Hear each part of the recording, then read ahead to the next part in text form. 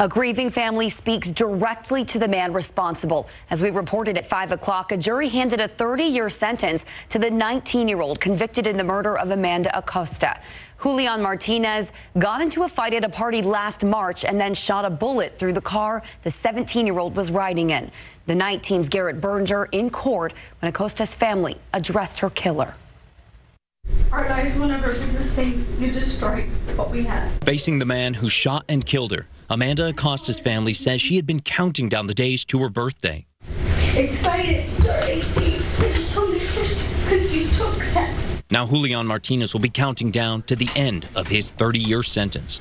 Prosecutors say they had asked for at least 60. They did get justice today, and, and the community has spoken, and Mr. Martinez will be gone for a long time. Martinez will be credited the time he spent in jail and will be eligible for parole after 15 years. We as a family will be there to make sure you don't come out to do this to somebody else's special family members. That's just one thing that it's, it's going to bother us. But for now, we're we're okay with the sentencing. I mean, it's fair. Though Acosta's sister thinks Amanda would see it differently. She would feel that you know that amount of time is not that much time. No matter how many years Martinez spends behind bars, it will never match up with the years Acosta's family will spend without her.